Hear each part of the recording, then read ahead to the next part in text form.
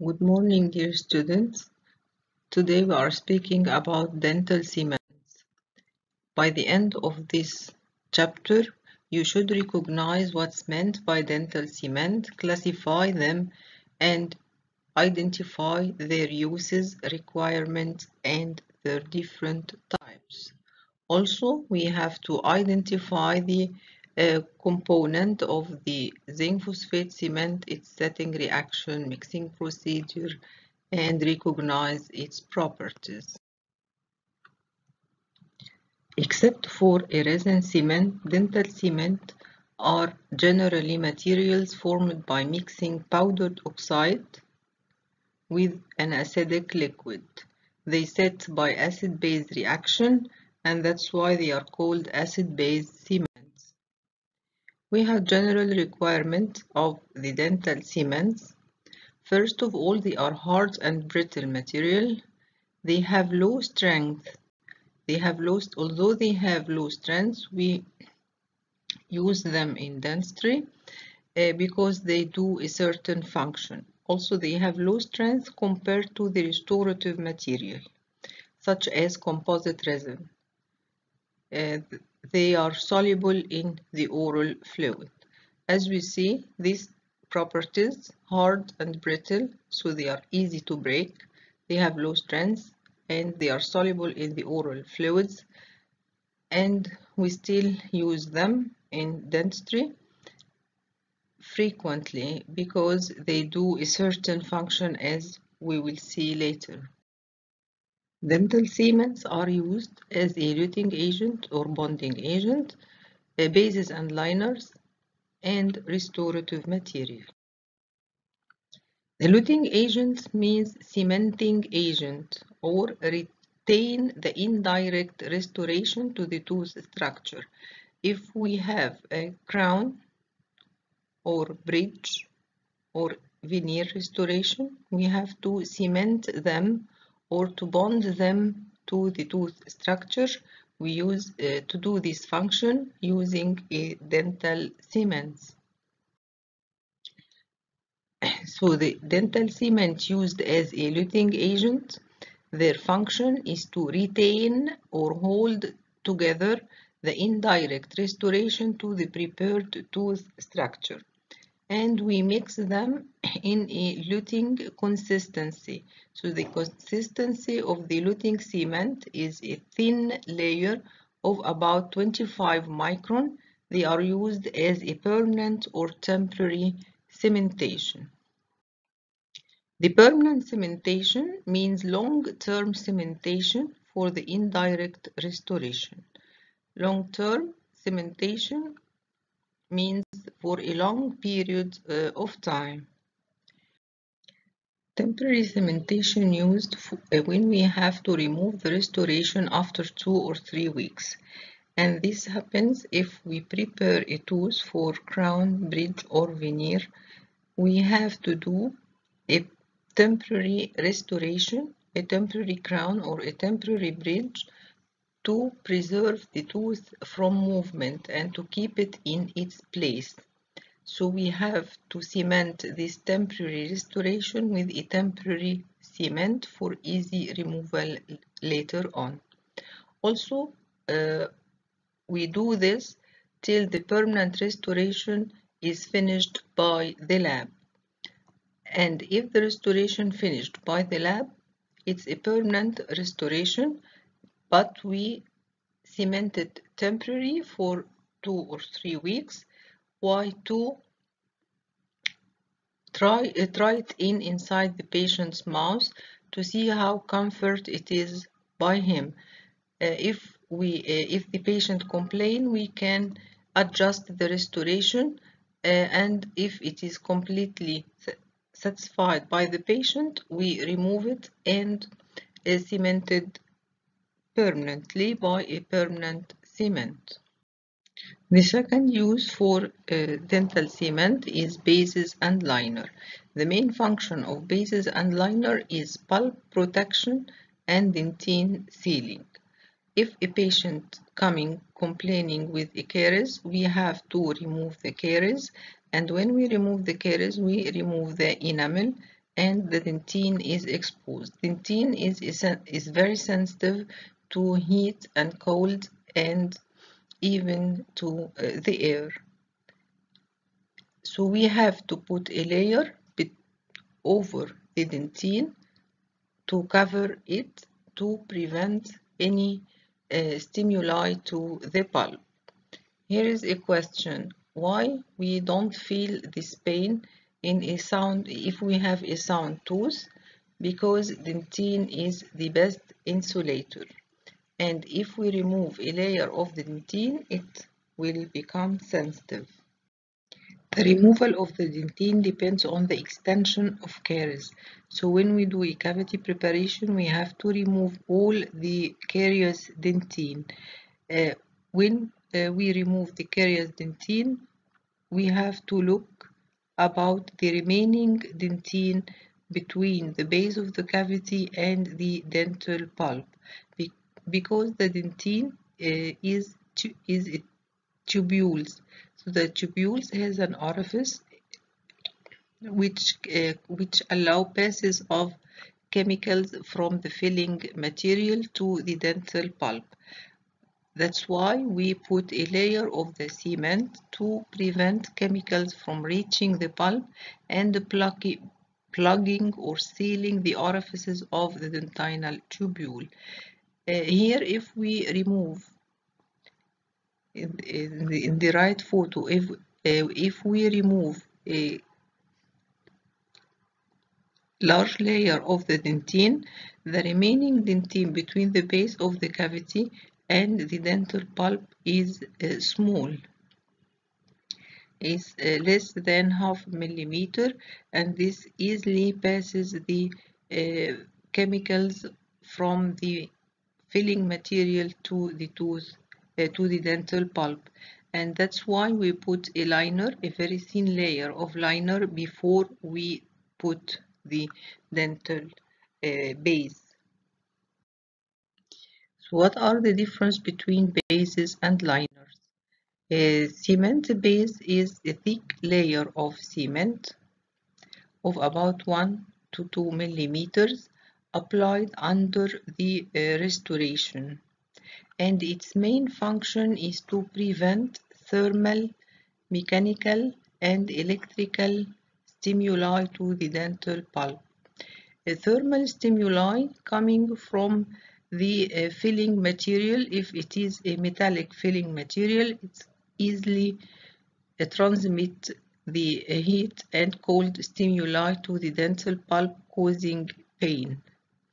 The mechanical stimuli comes from the forces of mastication. Uh, the electrical stimuli coming from uh, two different uh, metallic filling material uh, put in the same side or neighboring each other. This will create a electric circuit in the presence of the saliva causing an electrical stimuli to the pulp. So the cement base prevent uh, all these stimuli. And the uh, cement base must be strong enough to support the restoration so not to be fractured under the forces of uh, mastication. And this is the mix of the dental cement which must be a thick in consistency. While the cement liner is a very thin layer of the cement, thin layer of the cement put between the tooth, uh, the base of the cavity and the uh, dental pulp. The main function of the cement liner is sealing the orifices of the dentinal tubule and protecting the pulp from chemical stimuli. The chemical stimuli may be uh, comes from the uh, overlying filling material. So here the strength is not necessarily because it is covered by a cement base. The third use of the dental cement is direct restorative material uh, in cavities with low stress bearing areas such as class 5 and class 3 cavities. Class 5 and Class 3 cavities not subjected to high stresses of mastication and uh, we have to uh, fill them with a certain type of cement called glass ionomer cement type 2. Why? Because this type of cement has specific advantages to control caries in these areas, uh, which is the uh, fluoride release. The fluoride release can strengthen the enamel by forming a hydroxy uh, by forming fluorohydroxyapatite, which is resistant to the solubility by the acids in the oral cavity. Uh, we have other uses uh, for uh, dental cement. Uh, we have uh, we can use them as a temporary filling material between visits to relieve the pain of the patient because the patient comes complaining from pain. We excavate the caries and do some mechanical uh, tooth preparation and it's better to relieve the patient pain and relieve the pulp pain by using a temporary filling material because if we do a filling a permanent filling material at the same visit it will add to the irritation of the pulp and we have to bear in mind that when we do a cavity preparation or when we deal with the tooth we have to protect the pulp as much as we can also dental cements used for cementation of orthodontic brackets during orthodontic treatment. Another use is a periodontal surgical dressing. Uh, sometimes the patient comes complaining with irritating gingiva or diseased gingiva, uh, highly inflamed, so we have to remove them surgically. If we remove them surgically, there is a wound. The wound must be covered uh, to prevent uh, patient contamination from bacteria and also uh, to prevent pain to the patient by food and drink and so on. So we have to cover them by a periodontal dressing. Uh, this is a type of a special type of cement. Also, it's used as a pulp capping material. The pulp capping material is a material used over exposed pulp or near exposed pulp. Uh, sometimes when we do a cavity preparation, the care is extended toward the pulp, so we have to remove the uh, caries. Uh, sometimes the caries will be very near to the pulp, so we have to cover this uh, pulp with the um, dental cement to prevent uh, contamination and to promote healing of the pulp. Also in root canal sealer, a root canal sealer means um, it's type of cement used when we do a root canal treatment when the pulp gets infected and we have to remove it we have to remove the infected pulp, clean it and fill it with a material. This material called gutta-percha and must be sealed or cemented in place using a type of cement called root canal sealer and we will be discussing this later on. Uh, so what are the requirement of dental cements? We have general requirement and specific requirement for each use of cement. Uh, the general requirement this uh, must be non-toxic, non-irritant uh, to the pulp or to the oral tissue. It must be insoluble in the oral fluid, have antibacterial effect and have obtundant effect or relieving pain effect. Must be easily manipulated, uh, have adequate working and setting time, and not to be technique sensitive. Also, it must adhere. Adhere means chemical bond to the tooth structure and the restoration and must be not expensive. The What are the specific requirements for diluting cement? Luting cement must be initially of low viscosity, must have low initial viscosity. Why? We, uh, why the cement must have low initial viscosity? This make a good flow between the cement layer and the dental uh, the, and the tooth structure and uh, make a good wetting of the tooth structure by the cement. And this will result in low film thickness. The film thickness means the layer, the thin layer of the cement between the restoration and the tooth. The low film thickness comes from the low initial viscosity of the cement. If the cement is not initially uh, thin and give a thick film thickness. What will happen? This will lead to improper seating of the restoration, making a thick layer at the margins of the cement and the, uh, the uh, thick margin make a thick cement thickness at the margin of the rest, between the restoration and the tooth structure and this will be uh, easily soluble inside the oral fluid. When the cement is soluble, this allow the, the seepage or leakage, means the entrance of saliva and bacteria at the margin of the restoration, leading to recurrent caries. And this slide will show the uh, previous uh, discussion.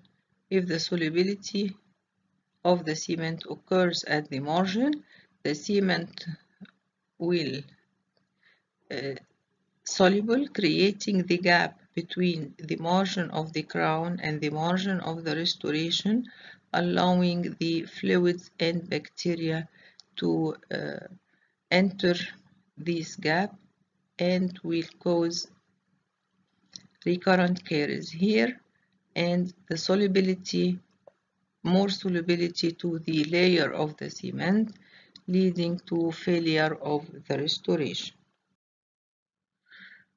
Also, the luting cement must have a high compressive strength and high modulus of elasticity to prevent fracture under the uh, cemented restoration. Uh, the, the luting cement must have optical properties similar to those of the tooth structure. Uh, why? Because when we cement the aesthetic restoration, such as ceramic restoration, we choose the color of the ceramic restoration uh, similar to the tooth structure. So when we cement them with a cement it must have the same color match as the restoration and the tooth to prevent change in the uh, color of the final restoration. Also, it must have a low cavity bases and liners must be insulator to the thermal, mechanical, and electrical stimuli to the pulp. Uh, must have a high modulus of elasticity or high stiffness and high fracture toughness to prevent fracture under the forces of mastication. The cement base must have adequate working time for complete mixing and placement inside the tooth structure in a reasonable time also, it must have a suitable viscosity to uh, spread the, the cement base over the tooth structure, followed by rapid setting and adequate compressive strength. This means that the cement uh, sets in a few minutes and after setting it must have about 50 to 70 percent of its final compressive strength to allow the condensation of the amalgam or the filling material without fracture under uh, the condensation force. and this slide shows that the cement is not uh, completely set uh, and we if condense the amalgam the cement will be impinged in the amalgam leading to weak restoration and it's easily failed inside the tooth structure under the forces of mastication. Also, the cement base must have structural integrity, means it have a very a uniform layer uh, over the tooth cavity.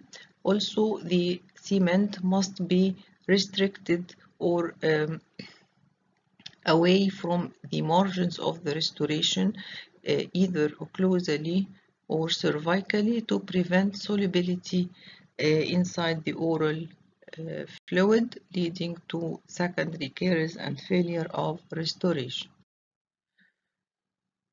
Uh, we classified the dental cements according to the water content of the liquid because the liquid is acidic solution with a percentage of water. So when the cement water if the cement liquid contains water, it is called water-based cement. An example is zinc phosphate cement, polycarboxylate cement, and glass ionomer cement. Uh, we have oil-based cement where, where the liquid of the cement is an oil like zinc oxide eugenol cement. The third one does not contain water at all, it is called resin-based cement, like the composite resin cement, which is used mainly for cementation of aesthetic restoration. Uh, so, uh, classification according to the setting reaction, we have acid-base reaction and we call them the conventional cement, a polymerization reaction, and the dual cure uh, reaction. Dual cure means two types of uh, setting reaction occur at the same time, at the same type of the cement. So the conventional cement or acid-based cement or water-based cements, they are all the same names for the uh, types of the cement zinc phosphate, polycarboxylate, glass ionomer. We have also resin modified glass ionomer and resin uh, cement. The general reaction of the water-based cement or acid-based cement is a neutralization reaction.